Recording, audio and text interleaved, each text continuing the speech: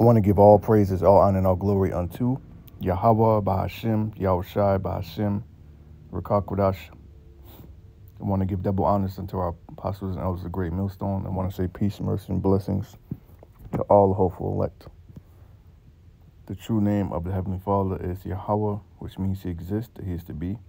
The true name of the Son is Yahweh Shai, which means He is the deliverer. We are the Hebrew Israelites, the so called African Americans, blacks, Seminole Indians, Native Americans, Latin Hispanics, West Indians, Jamaicans, Haitians. We are the 12 tribes of Israel. And self proclaimed white man, he's not white, he's red. They're the Edomites, also called Idumeans. According to the Holy Bible, according to Bible prophecy, Esau is the end of the world, and Jacob is the beginning of it that follow it. This is an article from Reuters. And uh, updated 24 minutes ago. It says just the PM of, of the small hats, all right, Mr. Benji, promises more war, dashing peace hopes after blank leader is, you know, unalived. Okay, so in, in the summary, Yahya Sinwar, mastermind of 10-7 attack, unalived by the small hats. Okay, so the, the small hats, man, you know, Amalek, all right, they, they, they got a spirit on them. They're taking out all these different leaders, all right? But what's going to happen, this is only going to give cause and rise up of more different leaders, man. All right, because we're going to get that, that, that prophecy here in uh, the book of Joel, chapter 3. Right?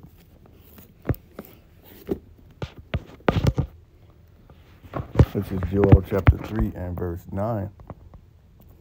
It reads, Proclaim ye this among the Gentiles. Now, those nations over there, those are Gentiles, right? The people of H, and small hats, and the, the people of Iran, the Persians, the Turkey, you know, Palestinians. A lot of those people are Gentiles. Now, of course, some of them could be Israelites too, because our people are scattered all over them. And yes, indeed, some of them are Israelites and they look like them, they speak like them, they dress like them. Now, some of them may be into the Sunni or Shiite faith. You know, it says, proclaim ye this among the Gentiles, prepare war, wake up the mighty men. So you had the small ass, they have taken out several different leaders. You know, just watch this, this video here. You know, I'm not going to play it because I don't want to, you know, you know, but just go back and, and watch this video. It's about two minutes, 52 seconds. Okay. It says the PM says the war not over.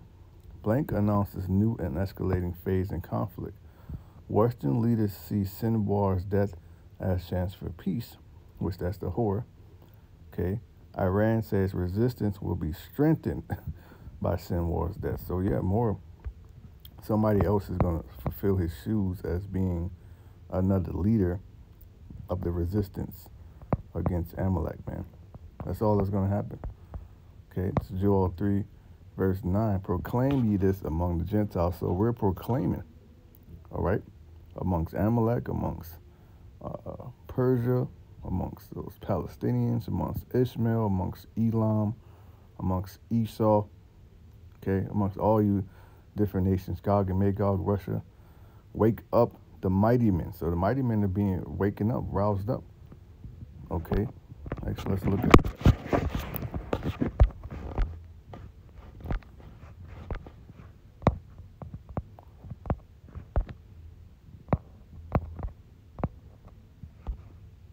Strong's H fifty seven eighty two.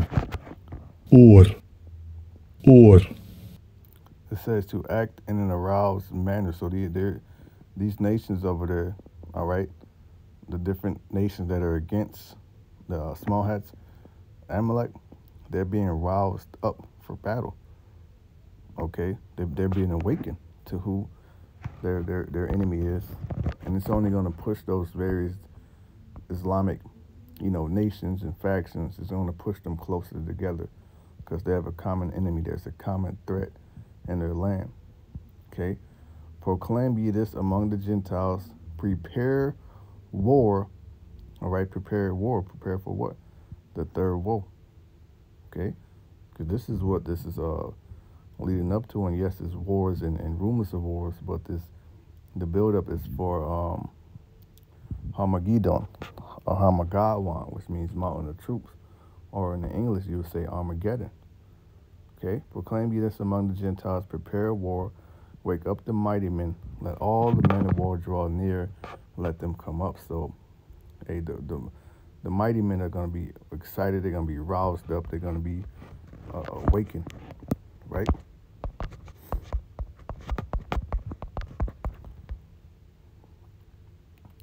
It says to wake someone up or make someone more active or excited. So yeah, this, the, this right here all right? It's only going to make those nations more excited for war, okay, and wake them up more. And, and, and St. Benji, he, he said he promises more war, dashing hopes of peace after. So he's not sat. So meaning he's not satisfied that the leader is unalive. He wants more blood. Okay, and that's the spirit of Esau. That's the spirit of, of Amalek. Okay, Scripture says in Ezekiel uh, since thou hast not hated blood, you're not going to get it. But I believe that's in Ezekiel 35. Okay.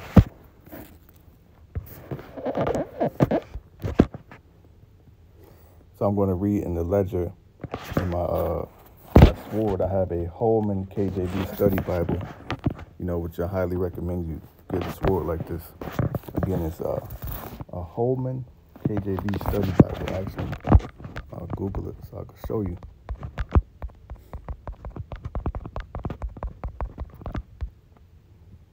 Okay, there go right there. You know, get that along with the Apocrypha. This is the one I have. It's hardcover. You know, it's a, it's a, it's a good sport. Now you can get the Good News translation and also the the Apocrypha. You know, but I'll read in the in the ledger here uh, for verses uh, 9 to 12 in Joel 3, it says the Gentiles are summoned to battle. Okay? And the precepts, it gives you the precept, Revelation 16 and 4. Okay, it says demonic spirits are used to motivate the nations for the final battle. Which, what's final battle? Armageddon. Right? It says, let's go. I'm to read 10. It says,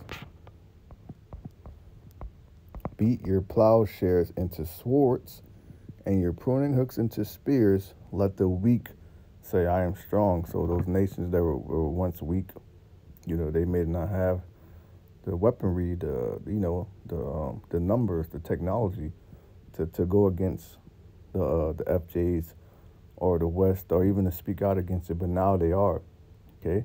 Now they're allies. Now they have the numbers. Now they have the technology. Now they have the weaponry. Now they have the courage. Now they have the spirit. All right, because it's Yahweh Shem Shai is rousing up these spirits for war. Okay, Joel 3 and 10. Beat your plowshares into swords and your pruning hooks into spears. Let the weak say, I'm strong, which is, this is what, this is the, uh, you know, this is the opposite of Isaiah 2 and 4. Okay, and Isaiah 2 and 4, they're going to do the opposite. They're going to beat their spears into pruning hooks. They're going to beat their swords into plowshares because there's not going to be any war in the kingdom of heaven when when the real children get that land back, man. Okay, so back in Joel 3 and verse um, 11. Assemble yourselves and come, all you heathen, and gather yourselves together round about thither. Cause the mighty ones to come down, O Yahweh Bashem Shai. So things are heating up. This this one is from Russia Today, right? So this is from Reuters.com, Reuters News. But then you also have this article from Russia Today. Okay, it says IDF releases video of Sinwar's last moments. All right. IDF has revealed more details about the blank leader's death. The blank military has released a drone video purporting to show the death of political leader Yahya Sinwar in southern Gaza. The IDF announced on Thursday that Sinwar was unalived at an unspecified location, officials in the West Holy Land celebrated the demise of the man crucial to the Palestinian group's military activities, including the 10 7 attacks. Okay, so there you have it, man. You know, and, and you know, we're not in the time of peace, right? This is what the Lord said. This is Matthew 10 and 34. Think not that I am come to send peace on earth. I am not come to send peace, but a sword. So let's look up the word here for sword. Strong's G 3162, machaira. machaira. Okay, and that's the Greek. We're going to look at the Strong's definition. Figurative, figuratively, war. Okay, judicial punishment, sword. Okay, so I'm to read that again. Think not that I'm come to send peace on earth. I came not to send peace, but sword. I came not to send peace, but war.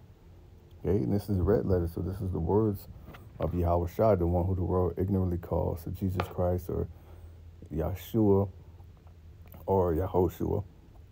You know, there's other names that they call him besides Jesus, you know, but we call them by Yahweh Shai, which is the uh, Paleo Hebrew or Lashawan Kodash, the pure tongue. All right, that's the name that we call upon. That's the ancient Hebrew. Okay when the Lord knocked Paul off the horse in Acts 26, and Paul is telling his story. All right, Paul says the Lord called to him and spoke to him in the Hebrew tongue. You know, and Paul was a man that took many journeys and visited different synagogues of the Israelites in different countries. Okay, and he spoke different languages. Okay. In Acts 26, he said the Lord spoke to him in Hebrew, man. So the Lord had a Hebrew name which is Yahweh Shai. Right? Yahweh Shai said, I'm coming not to send peace, but a sword, and it's talking about war. Okay? This is Isaiah 48 22. There is no peace, said Yahweh Shai, unto the wicked. Now, who's the wicked? Esau, Edom. Okay, when you go to Malachi, it tells you that Esau is the border of wickedness, right? Also, when you read First Maccabees, it tells you that uh, when Esau got into power, many evils and wickedness were increased and were multiplied in the world once this man Esau got into rulership because he is the wicked. Now, of course, this fits two thirds of our people too. It's twofold, okay? There ain't gonna be no peace in, in this man's kingdom, okay? And also in Revelation six, it says that uh, he was given a great sword to take peace from the earth. You know, I'm gonna get another precept on Amalek, it's showing that he's not gonna get peace. This is, is Exodus 17 and 16, NIV. He said, because hands were lifted up against the throne of Yahweh Shai, the Lord will be at war against the Amalekites from generation to generation. So yeah, that's prophecy. But that was prophesied in Exodus.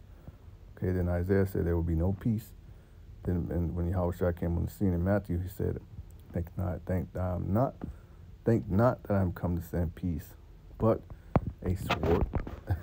and here you got this man, uh, the PM, promising more war, dashing peace hopes after H leader under live. So this is going to escalate, man. Okay, and we've been. Uh, this is going to continue to escalate. This is Revelation 16 and 14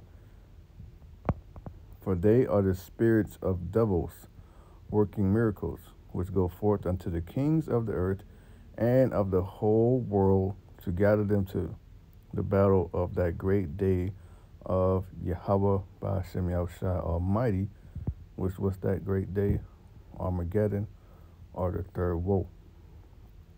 Okay. Now, before the third woe comes, first must come the mass implementation of the rights device, the charagma of Revelation 13, 16 on down. That must come first. Okay? And then, of course, that's going to tie into uh, Jacob's trouble, economic collapse. You know, shit hit the fan, if you will, man. Okay, but before the third woe comes, the rights device must come. Okay? So read a little bit more. I may get one more precept. This is uh, Holy Land 1018 p.m. promises to press on with the war in Gaza and Lebanon. Dash hopes on Friday that the killing of the leader, all right, Mr. Sinwar, might help might help end more than a year of escalating conflict in the Middle East. Well, this is just going to get worse and worse because what they did, all they did by doing this was pretty much fan the fire. Okay, and you go to Jeremiah, it's talking about Babylon. It says, "Send unto her families, sent unto her fanners." Excuse me, but I'm just using that as a figure of speech to what they did in the Middle East.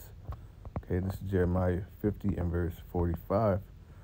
Therefore, he the counsel of Yahweh by Shem Shai that he had taken against Babylon, which that's the west. Okay, in the west and uh, the PM, you know, small hats, they're allied. They're allied. Okay. And his purposes that he had proposed against the land of the Chaldeans, which well, the West just sent over there 100 troops and a ballistic missile defense system. So that's showing you. Surely the least of the flock, which is the PM, and, and you know, that land over there, the people of that land, shall draw them out. Draw who? The West.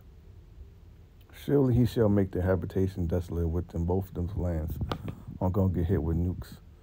But there is a difference because the West will, will be unrecognizable and uninhabitable forever. Okay?